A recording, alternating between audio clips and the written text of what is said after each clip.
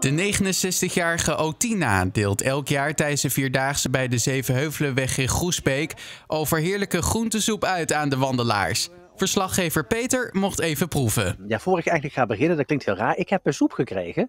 En daar gaat het nou eigenlijk helemaal over. Het is een speciale vegetarische soep, hè, want er zitten geen ballen in.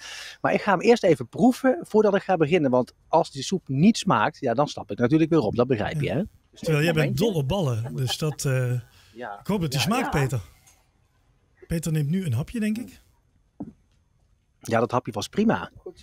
Wat is het geheim van jouw soep? Eh, het geheim is gewoon een beetje eh, van mezelf allemaal. Mag ik eigenlijk niet verklappen. Nou, maar ja, wij kennen, wij kennen jou niet, dus vertel eens wat meer op jezelf. Want Otti, je zit hier al bijna 40 jaar. 40 jaar zit ik hier, ja. Eerst deed mijn zus eh, de soep maken altijd.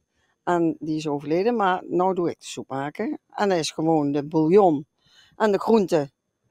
En eh, omdat vegetarische soep is, zitten er geen balletjes in, want die eten ze niet. Nee, Ah, maar ik- vermicelli, ja? Vermicelli. ja, en vermicelli. Maar ik miste de ballen eerlijk gezegd ook niet hoor. Niet? Nee? Nee.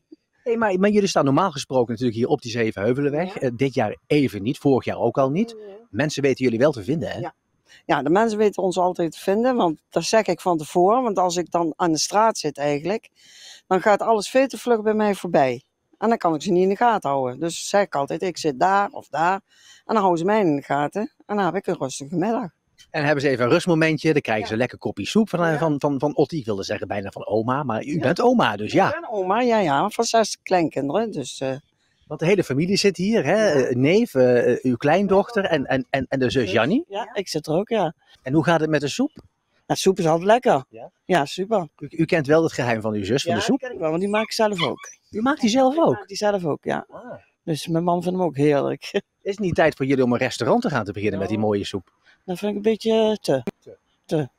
Want normaal gesproken tijdens de Vierdaagse, Otti, hoeveel soep deel je uit? Nou, dan komen zo ongeveer 25 man komen dan soep eten. En dan, eh, ja, die krijgen allemaal een kop soep. Willen ze er nog in, kunnen ze er nog in krijgen. Volgend jaar gaan we hopelijk eh, meer soep uitdelen. Want Mm. hoe- hoeveel soep, soep heb je deze week uitgedeeld tot nu Nou, toe? deze week niet zoveel. Dat, eh, nee, want er zijn er, nou, op deze dag zijn er een stuk of vijf geweest. En dan krijg je die andere dagen ook, ja, zes, zeven. Dus nou is het niet zoveel. Dus de rest invriezen maar. Nee, dan eten we lekker zelf op, hè. Oh, gelukkig maar. Nee, die eten we zelf op. Dat, eh, dat komt wel op bij ons.